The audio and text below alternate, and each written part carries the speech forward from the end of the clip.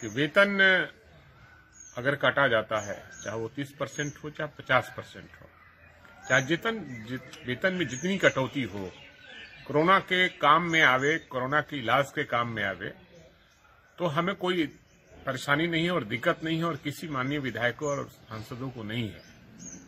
लेकिन जो तुगलकी फरमान जारी किया गया है माननीय प्रधानमंत्री के द्वारा कि हम एमपी का जो फंड होता है विकास की जो राशि होती है जी। उसको दो साल नहीं देंगे तो एमएलए जनप्रतिनिधि एमएलए या एमपी का चुनाव लड़ता है जनप्रतिनिधि विकास के लिए उनको चुना जाता है। उस पैसे को रोकना गलत बात है। प्रधानमंत्री जी आप वेतन में काट रहे हो मुख्यमंत्री जी जो फैसला लेंगे फैसले के बाद हम प्रतिक्रिया देंगे। और वेतन कटता है तो हमें कोई चिंता नहीं है।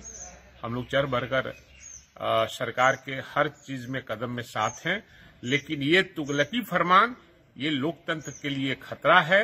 और जब से ये बीजेपी वाले आए हैं सरकार में, केंद्र में, ये लोकतंत्र खत्म होता जा रहा है, चाहे वो बिहार की राज्य हो, चाहे वो केंद्र की सरकार हो, विधायकों का असमत लूटा जा रहा है और संविधान की धज्जियाँ उड़ाई जा रही है।